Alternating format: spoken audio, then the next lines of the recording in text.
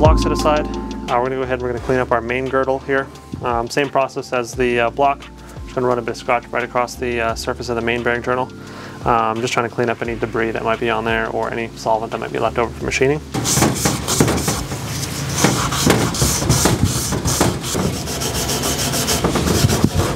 So now that you've uh, gone ahead and you've cleaned off the uh, surfaces with your Scotch-Brite, um, you can go ahead and just wipe it clean again. Um, some areas that are going to be of uh, notable um, requirements to be cleaned um, because this girdle is now machined for the brace. Um, there's blind holes here, so you have to go through and blow compressed air through each one of these new holes that uh, don't go all the way through, just so there's no debris behind there when you go to tighten it down.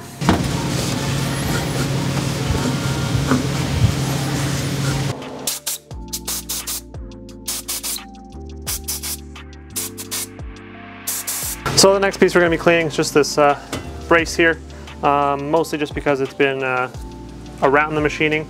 Um, we're just going to dry install it for our uh, machine work uh, verification first. Um, so no need to clean it good enough to seal, just make sure you got no debris on there from the machine work.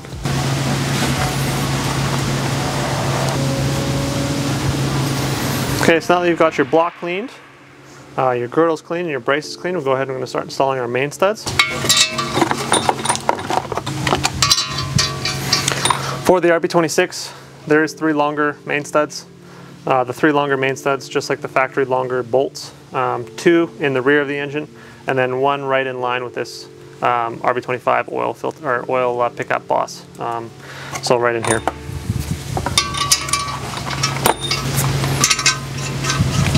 So when installing your main stud, like I said before, you're always going to want to make sure the hole is clean and clear of all debris. Make sure the threads are clean. You should be able to thread these in by hand, just with your fingers all the way to the bottom and then we're going to go around and hand tighten them with a ratchet in the socket. Once you've got your studs installed all the way by hand, you can just quickly go torque it down by hand. Um, there's no specification for this, just supposed to be hand tight. Um, it should be less than eighth inch of turn. Um, that's how you know it's been, it's all the way at the bottom. Um, you shouldn't have uh, any sort of fighting or, or, binding or anything like that. You might have some debris in there if you're feeling anything like that. Um, for these ones, I'm just getting an eighth inch just to tighten it down. So once you've got your main studs installed, you can go ahead and you can take your girdle. Oh, my finger. You can install it to the block just like that. Once you have your uh, main girdle installed, go ahead and use your ARP lube. I like to lube this surface, the washer, and the nut all together, just so you know you get good lubrication across all of it.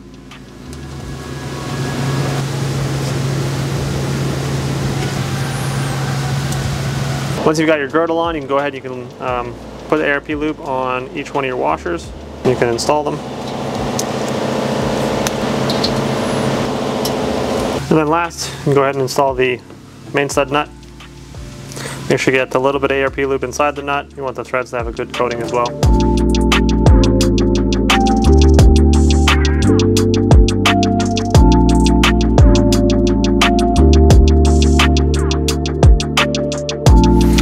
Okay, so once you've got your main cap or your main uh, girdle installed. Um, you got your, your ARP stud uh, nuts on and your washers on. Uh, we're gonna go ahead, we're gonna walk it down. Um, the main cap or main girdle is a uh, interference fit, so it does not go down without a little bit of force. Um, so you just wanna walk it down gently. We're gonna start from the middle and just gonna work your way around.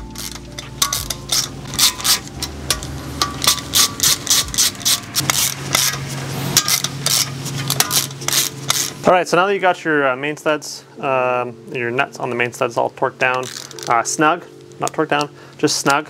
Uh, we're gonna go ahead, we're gonna break up the torque spec of 60 foot-pounds into three. So we'll start with 20, work our way up to 60.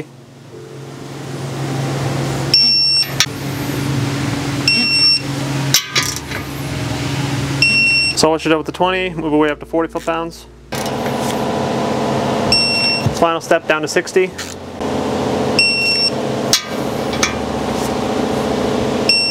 Once you've got them all down to 60, run over it again at 60, just to verify nothing's changed, nothing's moved, and you've got them all down to 60.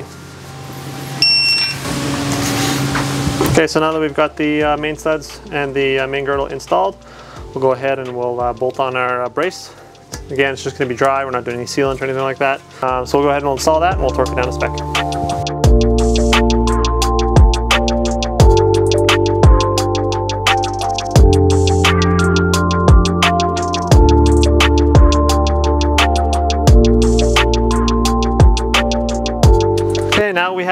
Uh, brace bolts all cinched down and uh, hand tight, we can go ahead and torque it down. Uh, the torque spec for these M8 bolts is uh, 25 foot-pounds. We're gonna start in the middle and then we're gonna work our way out.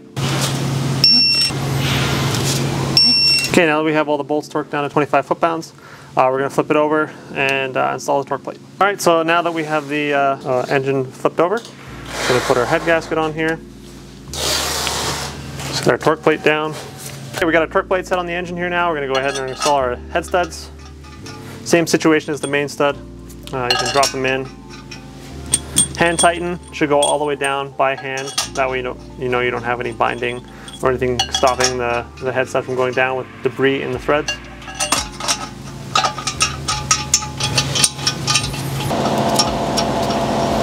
Okay, so same situation as the main studs, just hand tight on the head studs. Should be about an eighth inch of a turn. If you hand tighten them all the way into the, into the block with no disturbances. Same thing as the main studs again.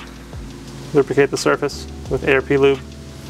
Uh, this stuff comes in little packs with your head stud kits.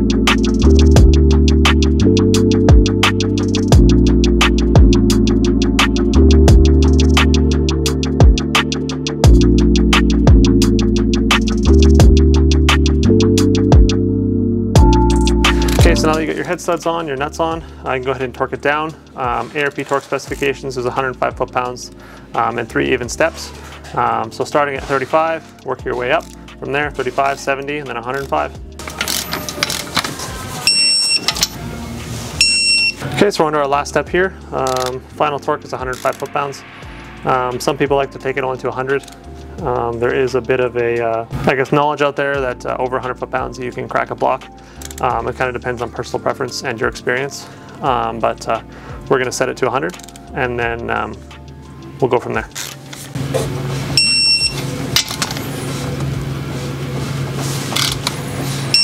So now that you've got your head studs torqued, uh, one thing I forgot to mention, you're going to want to torque from the middle and then work your way out in a crisscross pattern, just like any common knowledge, anyone I'm sure you know. If you're, if you're building an engine like this, you probably know a little bit. Um, I guess a little bit of common knowledge and hand tool talent is uh, required, obviously, to do something like this. Um, so now that we've got that done, um, we're gonna go ahead, we're gonna flip it over. Our first checks are gonna be on the main line. Uh, we're gonna make sure after we got our line hone that it's straight, um, that it's uh, not at around, and it doesn't have any taper. So the reason we're doing this on a uh, bench top and uh, not on an engine stand, uh, we'll need to access the front and the rear of the block to uh, measure the main line. Um, and then also one thing to note when you're on an engine stand, um, the way the block hanging does also distort your measurements slightly. Um, depends on what kind of stand you have. Um, if you mount it from the side, not as prominent. Um, but we always try to do most of the uh, assembly measurements and verification on a table. Okay, so next up, uh, we're gonna check our uh, main line for outer round and taper. Um, we are going to zero it to the first one here, and then we're gonna run that through all of them. Um, what I usually do uh, is check this first just to see if we have any issues before I go ahead and I measure and make sure the size of the hole is right. Um, so what we're gonna do is we're gonna place it in the main line. It's gonna be vertical, straight up and down. And then you're gonna wanna set, you wanna set your bore gauge to zero.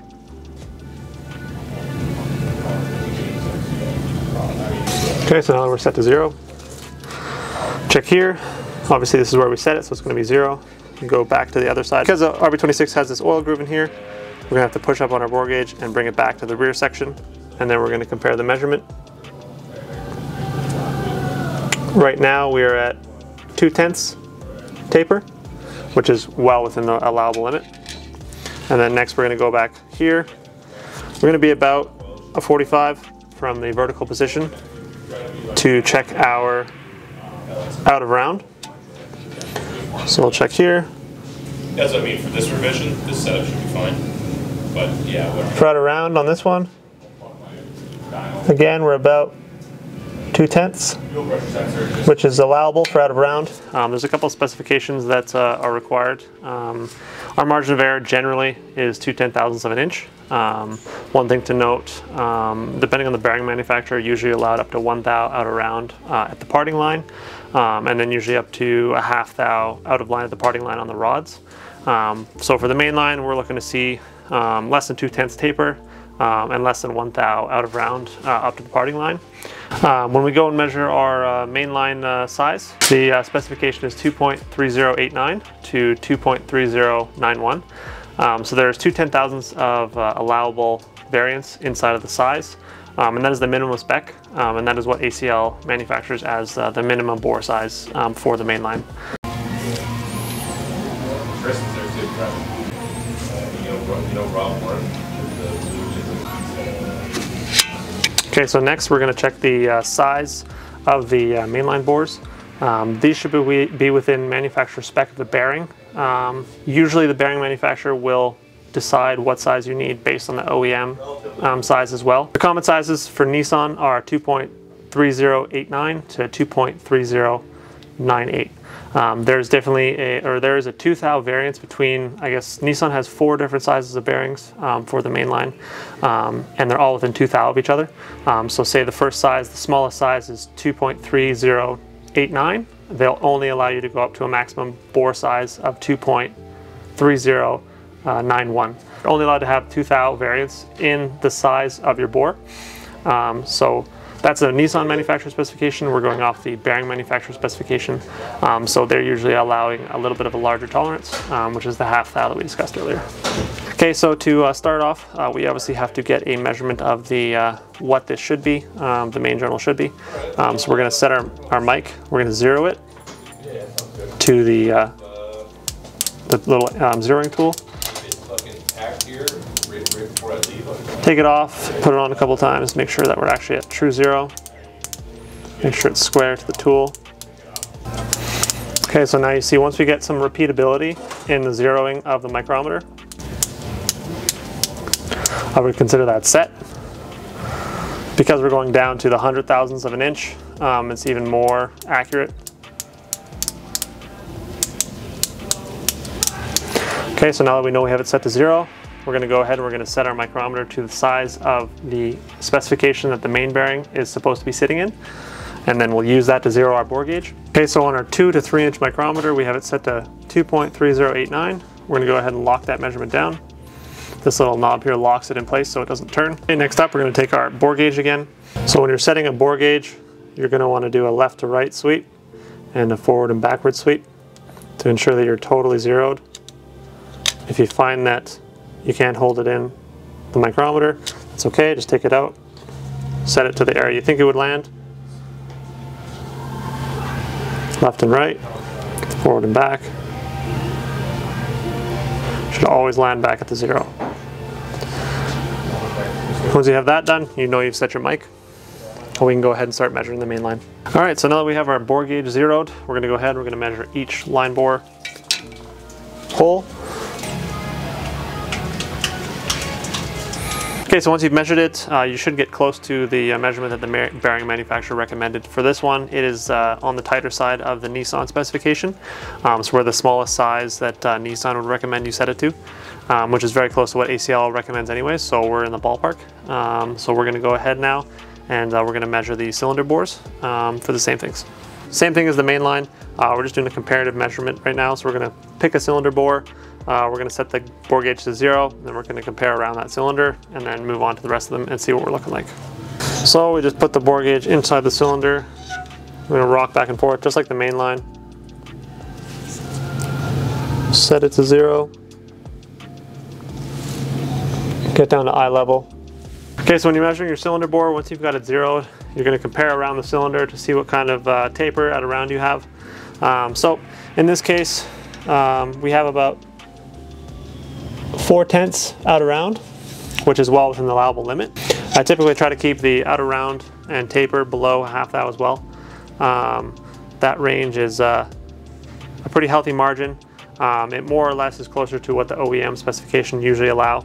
Um, there are uh, engine builders out there who will push it a little bit further, anywhere from a thou or larger, uh, out around and taper.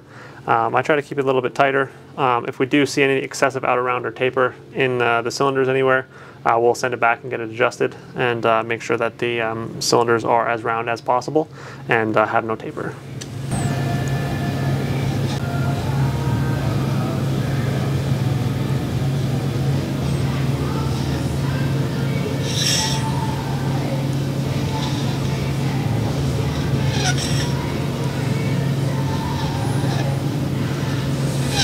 So the taper on that cylinder going across is uh, less than 2 tenths so that's good.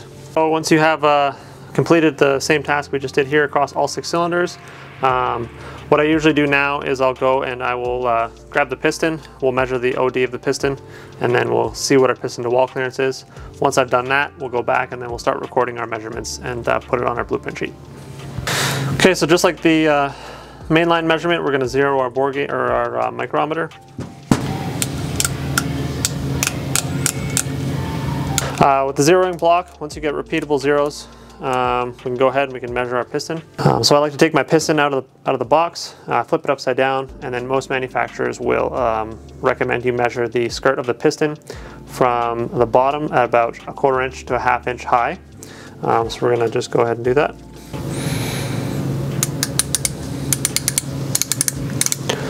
Okay, so we've measured our piston OD. Uh, the OD is uh, 3.4023. Um, the expectation um, from the manufacturer specification sheet is uh, 3.4025, so we're two tenths within that range. Um, so what we expected to see and what we're measuring is very accurate. Um, so now we'll go ahead and we'll zero our bore gauge in here again and we'll measure our piston to wall clearance. Um, on this application, each piston does vary a little bit. Um, so we've gone ahead and we've machined each piston to fit inside of each hole. So we're gonna go ahead and we're gonna, you're gonna repeat the same steps we're doing now for each individual piston. Okay, so just like last time, uh, we're gonna zero our bore gauge inside the micrometer. I've already done this one, but again, you're gonna go left and right. Try to get this slowed down so you can see on the camera. And then back and forth. You're always going to want to do this at eye level. Um, the vantage point of the needle will change the position that it's at, so you always want to be straight on. So the piston that we're using for this example here um, is piston number five. Um, so we're going to go ahead and we're going to measure the piston wall clearance in cylinder number five. Uh, our expectation is three and a half thou to four thou of piston to wall clearance.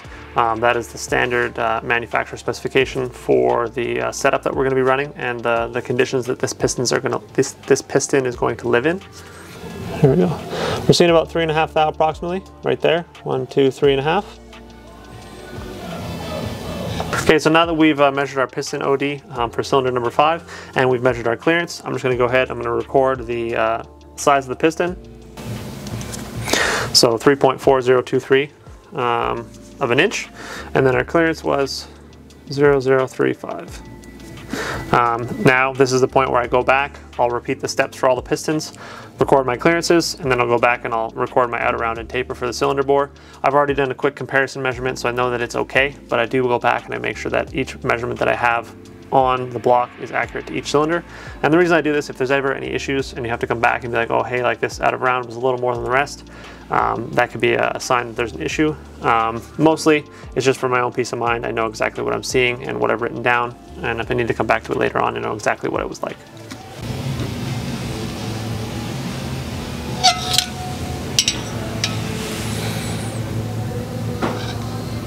So now that we have our uh, main line all measured up, uh, we're going to go ahead, we're going to take it apart now. We're going to get uh, set up to uh, measure the main bearings and uh, clean and install the main bearings.